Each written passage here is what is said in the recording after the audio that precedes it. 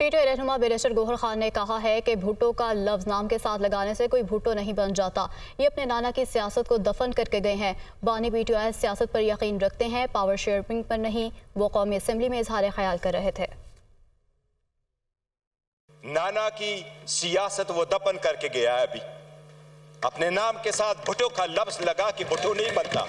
पाकिस्तान की किसी अदालत के पास ये इख्तियार नहीं है कि क्या कि कोई मुहब वतन है या नहीं है। हम सबसे ज़्यादा मुहब वतन है। हमारा लीडर सबसे ज़्यादा मुहब वतन आज चार दिन हो गए।